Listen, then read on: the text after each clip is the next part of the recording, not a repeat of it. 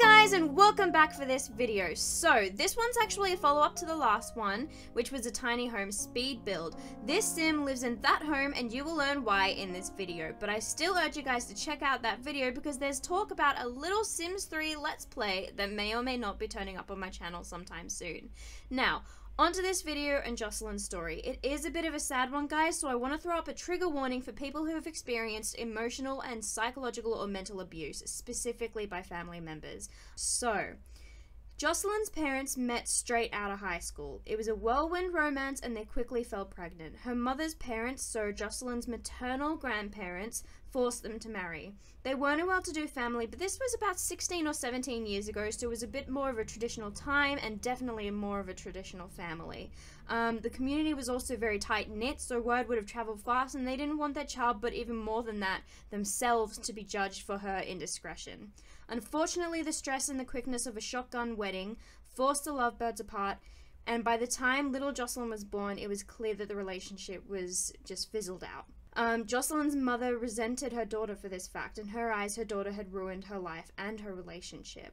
Though her husband was stepping out and gambling and partying as a young, unattached man would, she still loved him and wanted him to love her as he once had. So growing up was really hard on Jocelyn because of this. Her father was completely emotionally and physically amu- uh, removed, not amu- amused.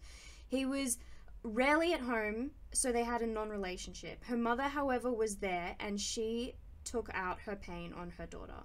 This obviously had an effect on Jocelyn, and growing up, she decided that she would never be that way to her children. She wanted everything that her mother had wanted, that she'd never had a stable home, children to love, and a kind husband who was there for her and her kids. But she knew this wasn't something that she'd get if she stayed, so as soon as she was able to, she started doing odd jobs here and there.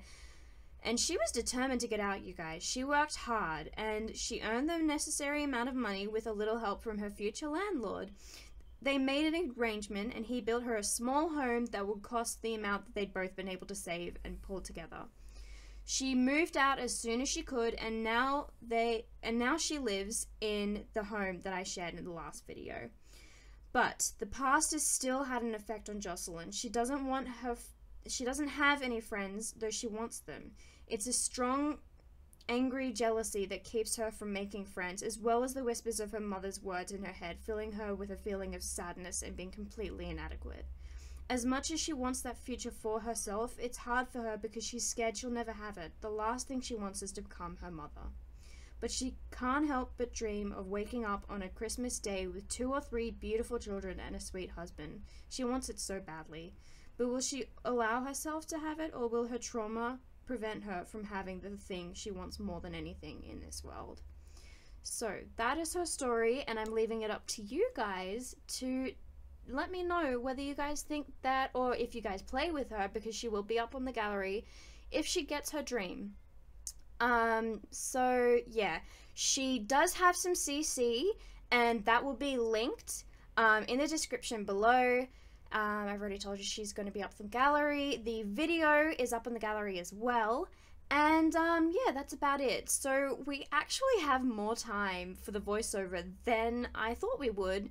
So I thought I would just mention once again the Sims 3 Let's Play. It's actually going to be a Bella Goth and um, Mortimer Goth one, um, going from when they were children and living through the, what we know is their life, actually. And um, I want to give them the romance and the happiness and the life that they, in my personal opinion, always should have. So please let me know if you guys are interested in that down below. Um, it will be taking over for Monday's uh, build videos. Um, and builds will then go on Wednesday instead in the random collection of videos like today. Um, but yeah, so that's all we have, and thank you guys so much. I would love to hear what you guys think, and I'll see you in the next vid. Bye!